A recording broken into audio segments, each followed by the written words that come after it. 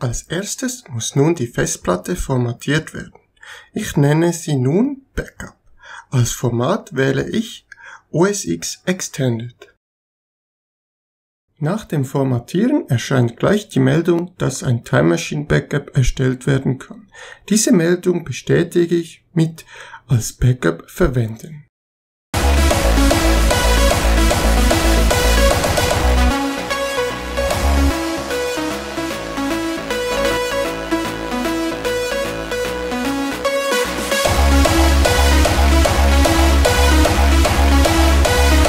Mit einem Sekundärklick auf das Time Machine Laufwerk kann ich das Backup gleich starten.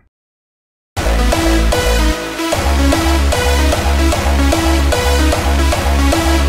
Backup dauert je nach Datenvolumen von wenigen Minuten bis zu mehreren Stunden. Bei mir dauert es nicht so lange, da es sich hier um eine Testumgebung handelt. Wir hören uns gleich nach dem Backup nochmal.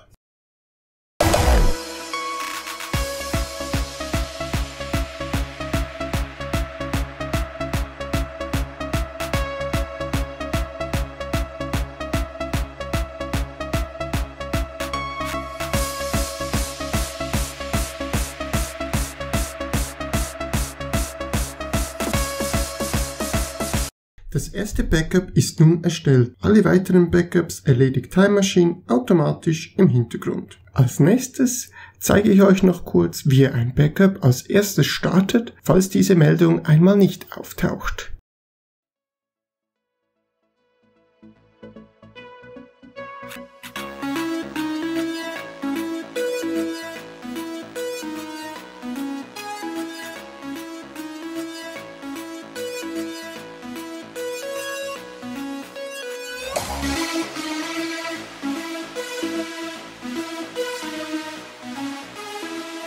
So, das war's nun mit diesem Video. Ich habe mit diesem Video eine neue Serie begonnen, die ich OS X Backup nennen werde. Es werden noch weitere Videos zu diesem Thema kommen. Viel Spaß und bis zum nächsten Video.